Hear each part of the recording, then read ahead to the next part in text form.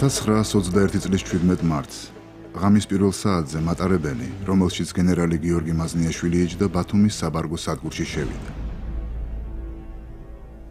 თბილისში უკვე ბოლშევიკები ბატონობდნენ. დამოუკიდებელი საქართველოს ჯარი და სახალხო გვარდია მთელი 20 დღის მანძილზე დაუსრულებლად იხევდა დასავლეთისკენ. თბილისიდან უკან დახევის შემდეგ გენერალი მაზნიაშვილი არიერგარდ შედგა სათავეში. ის ნოე ჟორდანიას მთავრობის სამშვიდობოს გასვლას უზრუნველყოფდა. როცა მთავრობამ ბათუმს მიაღწია, გიორგი მაზნიაშვილი 10000-მდე ჯარისკაცით გურიაში სოფელ საჯავახოსთან გამაგრდა. სანამ გენერალი ბოლშევიკებთან პოზიციურ ბრძოლებს აწარმოებდა, ბათუმში მყოფმა საქართველოს მთავრობამ ქვეყნის დასატოვებლად მზადება დაიწყო. 17 მარტს, სწორედ იმ დროს, როდესაც მენშევიკური მთავრობა და მთავარსარდლობა გემით საქართველოს ნაპირ შორდებოდა, ბათუმის ოლქში თურქები შეიჭრნენ. ოსმალები მზად იყვნენ და ისინი უბრალოდ ხელსაყრელ მომენტს ელოდებოდნენ და მართლა 1918 წლის მარტში მათ ძალიან სწრაფად დაიკავეს თითქმის მთელი აჭარა და ბათუმში ამ დროს საკმაოდ რთული მდგომარეობა იყო შექმნილი, კერძოდ აქ ფაქტურად იყო თითქოს მრავალხელისუფლებიანობა, მაგრამ ამ დროს ეს მრავალხელისუფლებიანობა გადასული იყო ანარქიაში. მაზნიაშვილმა მთავრობის გაქცევისა და თურქების შემოჭრის ამბავი ჭორად გაიგო. გენერალი ბათუმში სიტუაციის გასარკვევად გაემგზავრა. ბათუმში ჩასულ მაზნიაშვილს მენშევიკების ნაცვლად ბოლშევიკები დაუკავშირდნენ. გენერალთან მოლაპარაკება ბათუმის რევკომის წევრმა, ვინმე თენგიზ ჟღენტმა დაიწყო. მაზნიაშვილი არც ჟღენტს იცნობდა და არც რევკომი იცოდა რა იყო. არადა, სწორედ ეს გაურკვეველი წარმომავლობის ადამიანი არ წმუნებდა, რომ ჯორდანიას მთავრობამ უკვე დატოვა საქართველო, რომ ბათუმში თურქები შემოიჭრნენ და რომ ბოლშევიკებს თურქების გასაყრელად მისი მენშევიკების ჯარის გენერლის დახმარება სჭირდებათ. ბოლშევიკებს არ აწყობთ ოსმალეთთან ურთიერთობის, თურქეთთან ურთიერთობის გაფრჩება. აქედან გამომდინარე, მათთვის უფრო ხელსაყრელი იყო, რომ ბათუმის შენარჩუნება, აჭარის შენარჩუნება მომხდარიყო გიორგი მაზნიაშვილის მენშევიკი გენერლის ხელით. გარკვეული შეთანხმება მოხდა რევკომისსა და ეს რევკომის შეთანხმებული იყო ზემდგომთან, მათ შორის სერგო ჯონიკიძესთანაც. რომ მომხდარიყო იმ გენერალიტეტისაგან, რომელიც დარჩა ბათუმში და იმ ჯარისკაცებისგან შემდგარიყო სამხედრო შენერთები, რომლებიც ბათუმს გაწმენდნენ თურქებისაგან. და ეს საქმე თხოვეს სწორედ გიორგი მაზნიაშვილს. გენერალმა მაზნიაშვილმა გადაწყვეტილების მიღება სულ რამდენიმე წუთი მოანდომა. ბათუმელ ბოლშევიკებს ერთადერთი პირობა წაუყენა. ქართველი ჯარისკაცებისა და ოფიცრებისთვის სამშობლოსთვის თავდადება მენშევიკური ხელისუფლების სამსახურად არ ჩაეთვალათ და არ დაესაჯათ. რამდენიმე საათში გიორგი მაზნიაშვილი საქართველოს წითელი არმიის სარდლად და ბათუმის ოლქის გენერალ-გუბერნატორად დაინიშნა.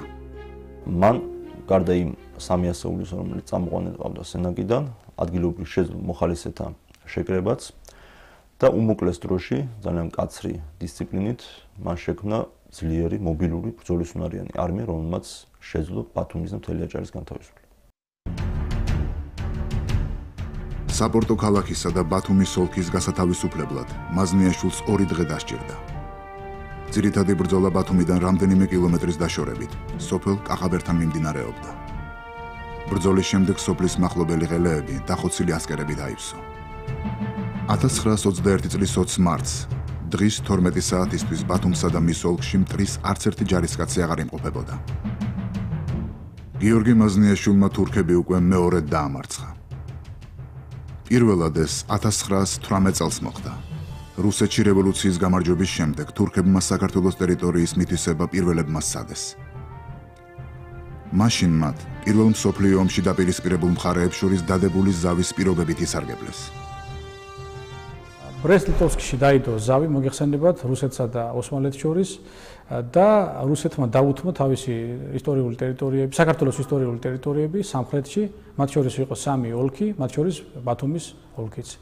ეს იყო კატასტროფული ზავი საქართველოსათვის, საქართველო კარგავდა თავისი ტერიტორიების მნიშვნელოვან ნაწილს. თურქეთის სამხედრო ძალებმა დაიწყეს წინსვლა და აიღეს ის პუნქტები, რომლებიც ამ ხელშეკრულებით თურქეთის მხარეს დაეთმო. ეს არის ეს 6 მარტს თურქებმა 6 მარტს თურქებმა აიღეს არტაანი. ამის შემდგომ მათი იერიში გადმოდის უკვე ართვინის მიმართულებით და უკვე 1 აპრილს თურქებმა თურქები დაეუფლნენ ბათუმის ბათუმს მაშინ ბათუმში განლაგებულმა ქართულმა საჯარისო ნაწილებმა ქალაქი მტერს უბრძოლველად დაუთმეს. თურქები ამით არ დაკმაყოფილდნენ და წინ მოიწევდნენ. გიორგი მაზნიაშვილმა პირადად ნოე ჟორდანიასგან მიიღო დავალება მტერი ჩოლოქს აქეთ არ გადმოეშვა. ფრონტის წინახაზე ჩასულმა გენერალმა ძირითადი ძალები სწორედ ჩოლოქთან გაამაგრა. თურქების მხრიდან დინარის გადმოლახვის მცდელობა წარმატებით მოიგერია. ქართველებმა ბრძოლაში სულ 4 ჯარისკაცი დაკარგეს. სწორედ იმ დროს, როცა ქართული ჯარის ერთი ნაწილი გაქცეულ თურქებს დევნიდა, მოწინააღმდეგის მცირერიცხოვანი რაზმების შემოვლითი გზებით ოზურგეთს მიადგნენ. ოზურგეთსა და მის מחლობლად განლაგებულმა მეოთხე ქართულმა ლეგიონმა პოზიციები უბრძოლველად მიეტოვა და ქალაქი მტერს დაუთმო. მაზნიაშვილ მოზურგეთის დაბრუნება პირველი რიგის ამოცანად დაისახა. ტერი უკვე ჩიხში იყო მოქცეული და ქალაქის დაცლას იწყებდა, როცა თბილისიდან საბრძოლო მოქმედების შეჩერების ბრძანება მიიღო. თურქებსა და ქართველებს შორის დაპირისპირებაში გერმანია ჩაერია. გერმანია არაპირებს ვთქვათ ასე ხილახები დაუთმოს თურქეთს, თუნდაც კი მის თავისუფლ მოკავშირეს ამიერკავკასია. მას აქვს თავისი ინტერესები ბათუმის მიმართ, მას აქვს თავისი ინტერესები ამიერკავკასიის მიმართ და აი აქ სწორედ პრინციპში თურქები გერმანელებმა მოატყვეს. გერმანელებმა ნოე ჟორდანიას ქვეყნის დამოუკიდებლობის გამოცხადება შესთავაზეს. ახალ გამოცხადებული სამართლებრივი სუბიექტი, საქართველოს დამოუკიდებელი რესპუბლიკა, ყველა ძველი ხელშეკრულების შესრულების ვალდებულებისგან გათავისუფლდებოდა და გერმანიის პროტექტორატის ქვეშ შესვლა შეძლებდა. გერმანიის ინტერესები საქართველოს გულისხმობდა პირველ ყოვლისა, თქმა უნდა, ეკონომიკური ინტერესი განსაკუთრებით დიდი იყო აქ ბათუმი ბაქოს სარგენიგზო მონაკვეთზე კონტროლი, რაც გულისხმობდა კასპიის ნავთობის ექსპორტირებას, ასევე ჭიათურის მანგანუმის ექსპორტი, რომელიც უკვე ფაქტობრივად გერმანიის გერმანელ ეკონომისტებს ჰქონდათ, ასე ვთქვათ, ხელი დადებული და მეორე მხრივ გერმანია იყო სერიოზული გარანტია იმისა, რომ საქართველოს თუნდაც ნახევარი წლის მანძილზე მაინც ქონოდა აა გარკვეულწილად საერთაშორისო, გარკვეული საერთაშორისო ავტორიტეტი. მაზნიაშვილს ძალიან საინტერესო და მონათხრობი მოთხრობილი თუ როგორ ჩადგა გერმანელი ოფიცრები იმ ქართულ საქართველოს არმიის საგუშაგოებზე. ეს მოხდა შემდეგნაირად რომ ეს ჯარისკაცები იყვნენ არა პროფესიონალი გერმანელი ჯარისკაცები, არამედ იყვნენ ტყვეები, ანუ საქართველოს ტყვეები ტყვეები და ის მოსახლეობა, რომელიც გერმანელი კოლონიზატორები მე-19 საუკუნის ჩამოსახლებული გერმანელი კოლონისტები, რომლებიც სახლობდნენ ქვემო ქართლის ტერიტორიაზე. ამ ადამიანებს თბილისში შეუკერეს ფორმები, გერმანული ფორმები, რომლებიც გამოაწყეს გერმანული, ასე ვთქვათ, ტანსაცმელთ სამხედრო იარაღით.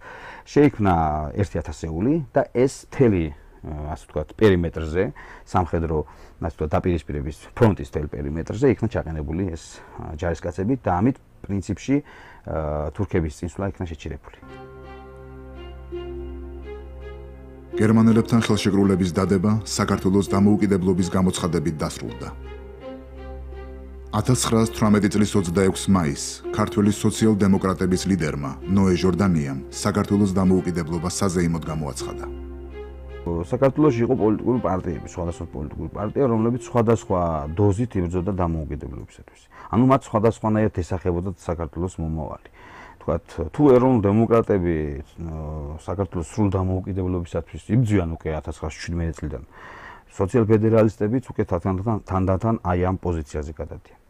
ამ დროს სოციალ თქვათ სოციალ-დემოკრატები განსხვავებით ყველა ამ პარტიისაგან ჯერ კიდევ თავს იკავებდნენ საქართველოს დამოუკიდებლობისათვის. და რაოდენაც ასე ვთქვათ მართლაც ბედის ირონიაა, რომ სწორედ მათ გამოაცხადებინა, მათ მათ ხელში გამოცხადა საქართველოს დამოუკიდებლობა.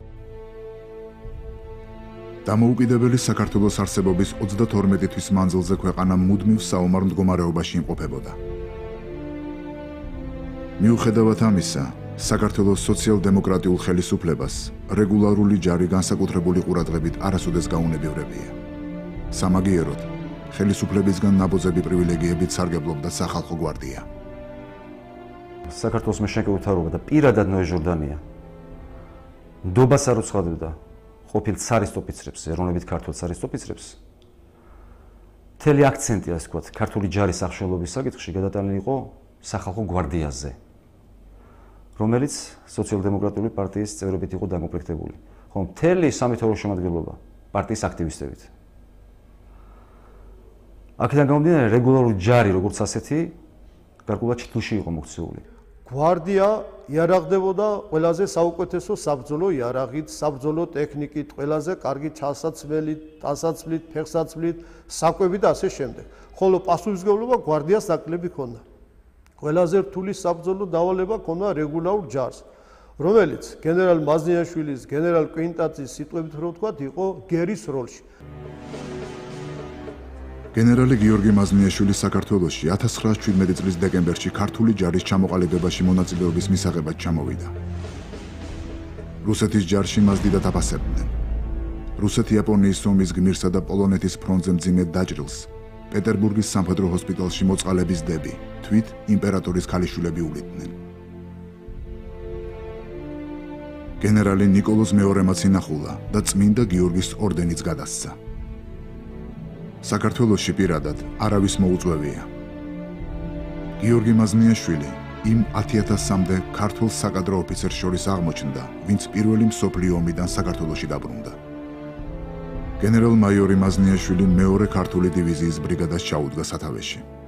თავი პრობლემა იყო ის, რომ საქმის მწოდნე პირები იყვნენ ცოტანი, რომელთაც იცოდნენ ის შესაძლებლობები, რაც გააჩნდა, ის რესურსები, რაც გააჩნდა, რაც გააჩნდა კავკასიის სამხედრო ოლქს, და გიორგი მაზნიაშვილმა დათავაშნაძესთან ერთად შექმნა კომიტეტი ისინი ჩაუყენეს ამ კომიტეტს სათავეში რომელმაც უმოკლეს დროში 1918 წლის მარტამდე შეძლო მართლაც საოცარი საქმე გააკეთეს და ამ დროში მოახერხეს აკუმულირება მთელი აღჭურვილობისა და პროვინცისა რაც თელ კავკასიის მასშტაბით მოიპოვებოდა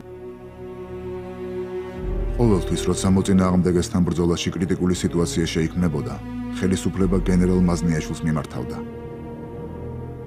1918 წლის ზაფხულში, როდესაც სოხუმს ბოლშევიკების შეჭრის საფრთხე დაემუქრა, მაზნიაშვილი აფხაზეთის გენერალ-გუბერნატორად და შავი ზღვის ნაპირების ჯარების უფროსად დანიშნეს.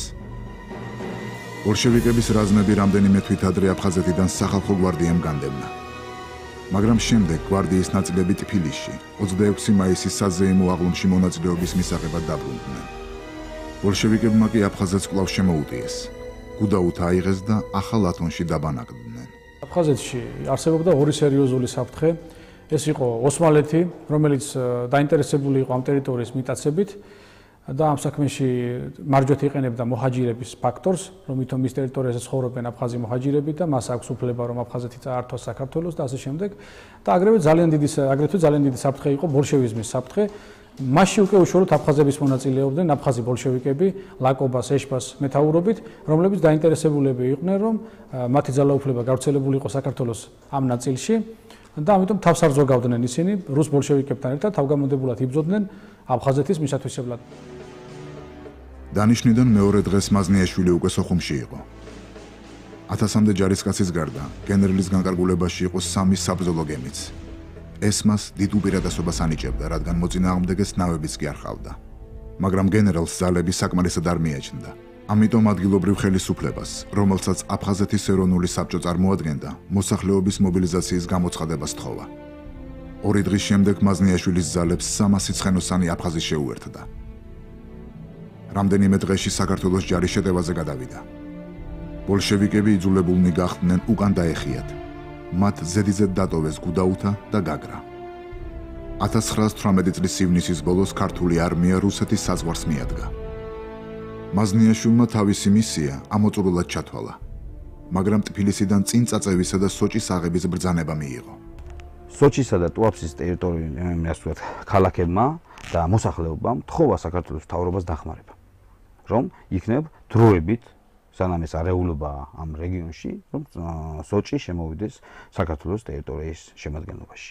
ეს მიმართვაც ჩვენ წამოვიდა თბილისში და ბუნებრივი აქედანაც გარკვეული რეაგირება მოხდა ამ მიმართვების მიმართ და დაევალა გენერალ მაზნიაშვილს, რომ უფრო წაწეულიყო წინ.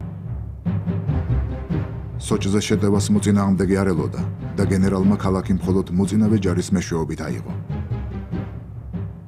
ბოლშევიკებმა უკან დაიხიეს და ტუაფსეში გამაგრდნენ.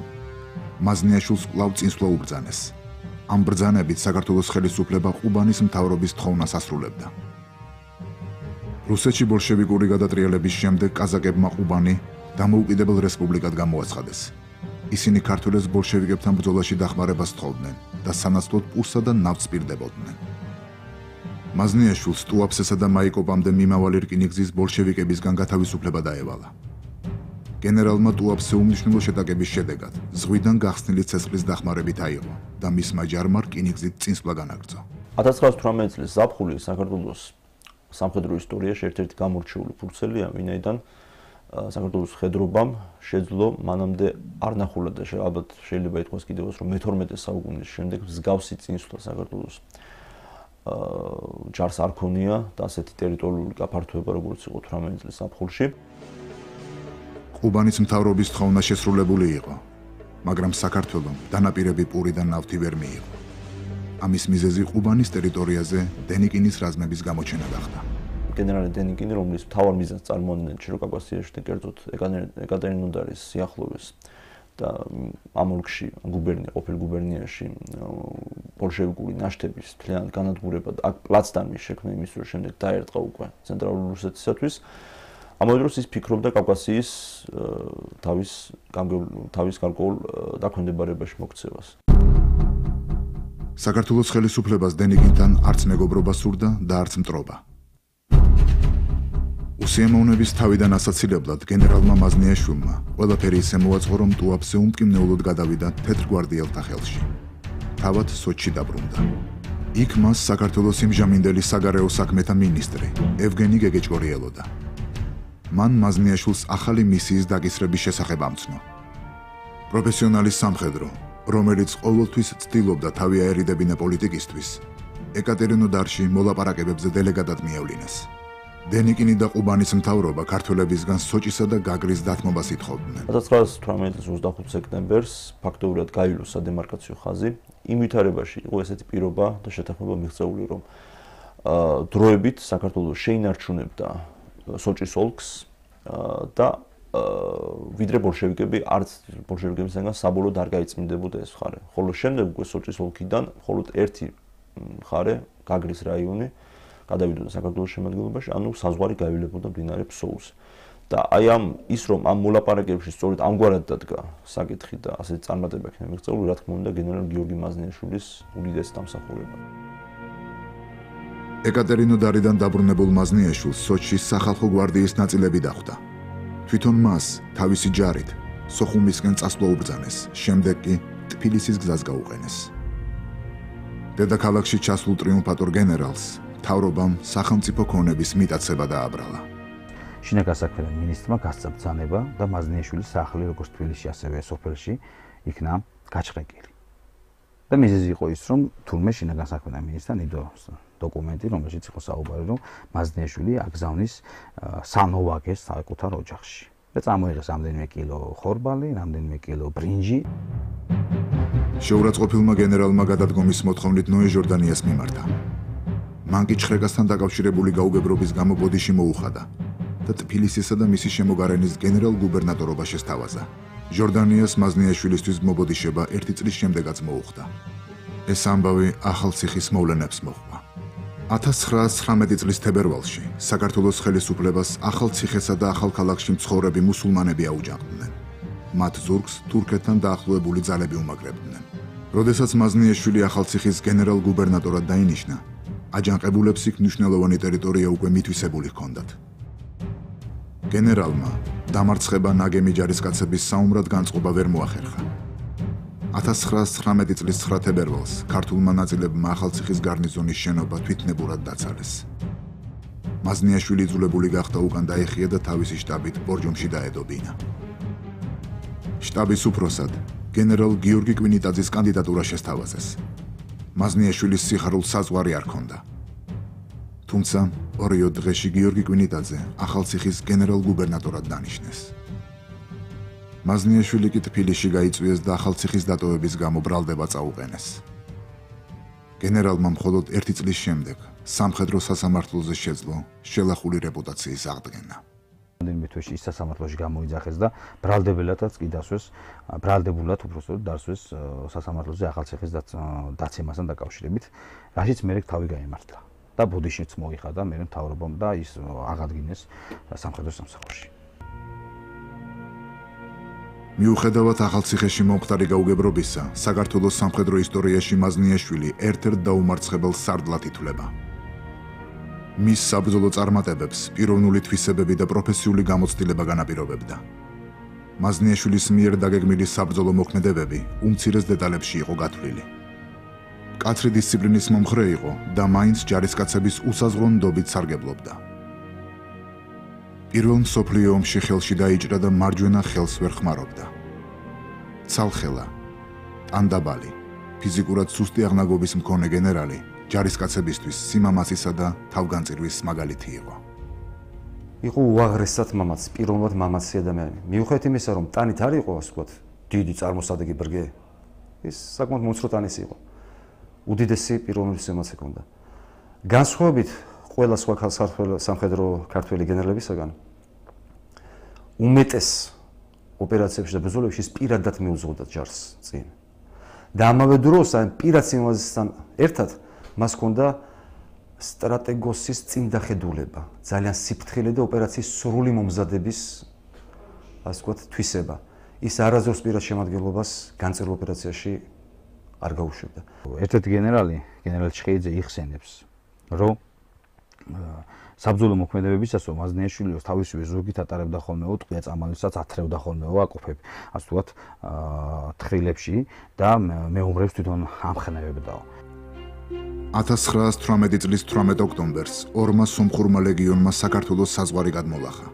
შესაბამისი სამხედრო ზომების მიღების ნაცვლად საქართველოს მთავრობამ ხანგრძლივი დიპლომატიური მოლაპარაკება წამოიწყო. გამომდინარე ეს სვარცგადასული დემოკრატიულობის, ჰუმანიზმის და პაციფისტური გაწყობებიდან საქართველოს მთავრობას არ ჯეროდა თუ არ უნდა დაეჯერებინა, არ უნდა რომ დაეჯერებინა, რომ ეს ომი იყო რეალური ომი, სრულმასშტაბიანი ნამდვილი ომი და არა რაღაც ცალკეული დაშნაკური ბანდების ასე ვთქვათ, გამოხდომები. და ჩვენ მივიღეთ ის საზღაური, რაც მივიღეთ. სომხები ომისთვის ემზადებოდნენ. საქართველოს მთავრობამ ეს იცოდა, თუმცა სტრატეგიად საპროტესტო ნოტების გაგზავნა ირჩია.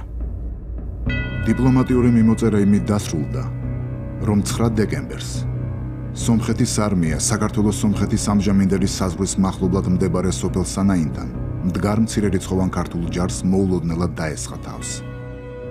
პარალელურად ისინი ახალ ქალაქის მაზრაში შეიჭრნენ. ეს იყო იმ მიზნისთვის გადადგმული პირველი დიდი ნაბიჯი, რასაც დიადი არმენიის შექმნა ერქვა. იმ ეფემერული სახელმწიფოსი, რომელიც მოაზრებული იყო დაშნაკ იდეოლოგიების მიერ, ჯერ კიდევ მე-19 საუკუნის 80-იანი წლებიდან, მაშინ როცა ჩაისახა სწორედ დაშნაკური იდეოლოგია, როგორც ასეთი. ქართველები ზედიზედ მარცხდებოდნენ. ხელისუფლება კი საერთო მობილიზაციის გამოცხადების ნაცვლად საომარი მოქმედებების ზონიდან ჯარისკაცებს ტფილისში სახალხო დღესასწაულებში მონაწილეობის მისაღებად იწვევდა. ჯორდანიას მთავრობამ სომხების წინსვლას ყურადღება მხოლოდ მაშინ მიაქცია, როდესაც ისინი საქართველოს ტერიტორიაზე უკვე ღრმად შემოიჭრნენ. დაიკავეს სოფლები ვორონცოვკა და პრივოლნოე. ასევე სადახლო და ქალაქი შულავერი. 17 დეკემბერს მოწინააღმდეგე ქართლის შუაგულს მდინარე ხრამს მოადგა. არსებობს დოკუმენტები ოფიციალური შიფროგრამები, სადაც სომხეთის რესპუბლიკის პირველი პრემიერ-მინისტრი ოვანეს კაჩაზნუნი პირდაპირ გასცემს განკარგულებას, რომ სომხეთის ჯარმა უნდა დაიკავოს აუცილებლად იგი მდინარე ხრამამდე პოზიციები, რასაც უცილებლად მიიჩნევენ სომხეთის კუთვნილებად, ხოლო ხრამიდან მტკვრამდე ტერიტორიები ეს შემდგომი განჯის საგანია. ან მოლაპარაკებებმა გადაწყვიტოთ ან ომმა. 17 დეკემბერს საღამოს გენერალი მაზნიაშვილი მთავრობის სასახლეში დაიბარეს ნოე ჟორდანია მას აცნობა რომ სომხეთის წინააღმდეგ მოქმედი ლაშქრის სარდლად არის დანიშნული ფრონტის ხაზზე გენერალის ჩასვლის მეორე დღესვე კარგად დაგეგმილი ოპერაციის განხორციელება დაიწყო ომის მსვლელობა ძირეულად შეიცვალა ქართული ჯარის შეტევა მოწინააღმდეგეს უკან დახევას აიძულებდა სომხები იძულებულნი გახდნენ ქალაქ შულავერში გამაგრებულიყვნენ. საქართველოს მობილიზაცია არ იყო ბოლომდე დასრულებული. და მათ თავის მოადგილეს გენერალ სუმბათაშვილს უბრძანა დაუყოვნებლად დაიწყოს შემხედარი კონტრშეტევა. მხოლოდ ეს ერთი ესკადრონითა და ერთი ჯამშამატარებლით მათ შეძლეს სომხების არათუ შეჩერება ხრამის პოზიციებზე, არამედ უკან დახევაც კი. მაზნიაშვილმა მთავარ ამოცანად შულავერის აღება დაისახა. თუმცა შეტევა ჩაიშალა. მენშევიკური გვარდიის მებრძოლებმა დღისით აღებული სტრატეგიულად მნიშვნელოვანი მაღლობები ღამით დატოვეს და იქვე სოფელში ჩაის დასალევად ჩავიდნენ. მოწინააღმდეგეს ეს გადაადგილება არ გამორჩენია და მაღლობები კვლავ თავად დაიკავა. 28 დეკემბერს მაზნიაშვილის დაქვემდებარებაში მყოფმა ჯარებმა შულავერი გვარდიის დახმარების გარეშე აიღეს. საქართველოს შეერაღებულმა ძალებმა წინსვლა განაგრძეს. 1 იანვარს გამთენიისას სადგურ სანაინისა და ალავერდის დაკავება იგეგმებოდა. გეგმა თბილისიდან მოსული ბრძანების გამო ვერ განხორციელდა. გენერალ მაზნიაშვილს 31 დეკემბერს ღამის 12 საათზე საომარი მოქმედებების შეჩერება უბრძანეს. 1918 წლის 31 დეკემბრის საღამოსათვის ფრონტებზე მოვიდა სამთავრობო ბრძანება, მაგრამ მოწერილი უკვე ომის თავარსარდლის, საბრძოლო მოქმედების თავარსარდლის გენერალ გედევანიშვილის მიერ, რომ მოხდარიყო სასწრაფო ცეცხლის შეწყვეტა 1918 წლის 31 დეკემბრის 24 საათისათვის. საქმე იმაშია, რომ გარკვეულმა ავანგარდნებმა ეს ბრძანება პირველი იანვრის გამთენისას მიიღე ძალიან დიდი დაგვიანებით. და ეს იყო ალბათ ყველაზე დიდი შეცდომა იმ პერიოდის, რაც დაუშვა საქართველოს თავრობამ. ჩვენ ეს ომი მოვიგეთ ხედრულად, მაგრამ წავაგეთ პოლიტიკურად. საქართველოს ტერიტორია, კერძოდ ის სადაო ბორჩალოს მაზრა, ამ ომის შედეგად ფაქტობრივად შუაზე გაიყო ტერიტორიის სამხრეთ ნაწილში, ლორის რაიონში. ერთი პერიოდი ინგლისური ჯარი იდგა, შემდეგ უკვე 1921 წლიდან ეს ტერიტორია ქართულმა ბოლშევიკებმა დაუთმეს სომეხ ბოლშევიკებს, ხოლო ჩრდილოეთ ნაწილი დარჩა საქართველოს შემადგენლობაში. 1921 წლის 12 თებერვალს როცა სომხეთთან ომის დასრულების შემდეგ ორ წელიწადზე ცოტა მეტი იყო გასული. სომხეთ საქართველოს საზღვრის მახლობლად მდგარ საქართველოს ჯარის ნაწილებს კვლავ შემოუდიეს. საქართველოს მთავრობა კარგა ხანს მოუნდა იმის გარკვევას, თუ ვინ იყო თავდამსხმელი. გონს მხოლოდ მაშინ მოეგნენ, როდესაც მოწინააღმდეგე მიერიში წითელ ხიძეც მიიტანა. 13 თებერვალს გაირკვა, რომ საქართველოს ბოლშევიკები უტევდნენ. ბოლშევიკები მარტო მე-11 არმიის მეშვეობით არ მოიწევდნენ წინ, რომელიც აგე ლორეს მხრიდან მოქმედებდა. ნაწილი ბოლშევიკური არმიისა მოქმედებდა იგივე აზერბაიჯანის მხრიდან კახეთის მიმართულებით და საკმაოდ აქტიურად. აა ჩილოთ კავკასიიდან მოდიოდა ერთი არმია და აფხაზეთიდან მოდიოდა მეორე და კიდე უკვე მესამე, მეოთხე ფრონტი უკვე უკაცრავად, მეოთხე ფრონტი გაიხსნა აფხაზეთის მხრიდან. ჟორდანიას ხელისუფლებამ წინასწარ ეცოდა, რომ უკვე გასაბჭოებულ ბაქოში საქართველოს დასაპყრობად ბოლშევიკური მე-11 არმია ყალიბდებოდა. მაინც არანაირი თავდაცვითი ზომებისთვის არ მიუმართავთ. მეტიც სამხედროების დაჟინებული წინააღმდეგობის მიუხედავად შინაგან საქმეთა მინისტრმა ნოე რამიშვილმა 21000-იანი ჯარის დემობილიზაციას მიაღწია. რამაც ქართული არმია გამოცდილი მებრძოლების გარეშე დატოვა. 1921 წლის 13 თებერვალს ბოლშევიკებმა მთელი კახეთი ხელში ჩაიგდეს. საქართველოს სამხედრო ძალების მთავარ სარდლად გენერალი გიორგი კვინიტაძე დაინიშნა. მან საქართველოსი საერთო მობილიზაცია გამოაცხადა. წითელი ხიდიდან საჯარისო ნაწილები მოხსნა და მთელი არსებული ძალები თბილისის დასაცავად შეკრიბა. გენერალ გიორგი მაზნიაშვილს თბილისის სამხრეთი ჩააბარეს. იგი ორხევ ტაბახმელას მონაკვეთს იცავდა. ამ პროცესზე მაზნიაშვილმა არა მხოლოდ შეაჩერა მტერი, არამედ საგზნობი დარტყმები მიაყენა მას.